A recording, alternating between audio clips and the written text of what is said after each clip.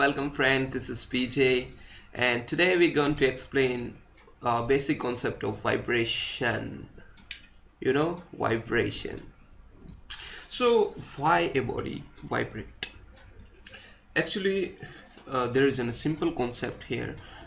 Uh, for the vibration of any body, uh, of an any substance, uh, uh, we have a few things that is that should have the mass uh, must give the inertia and okay and the second thing the body must be elastic.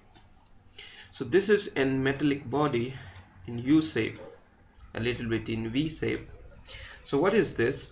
When I just push this to end there's an elastic energy stored in the body.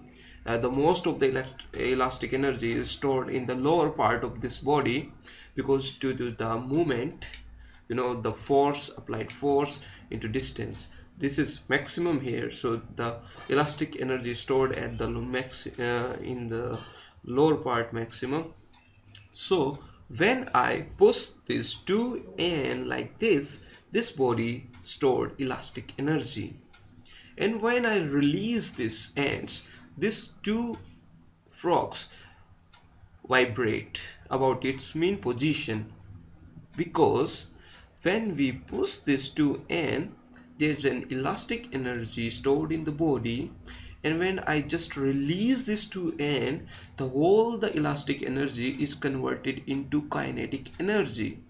And this kinetic energy expand the frogs little more than its mean position and after that this whole elastic energy converted into kinetic energy again and they come again up to this point and this after this point the all this elastic energy will again convert it into kinetic energy.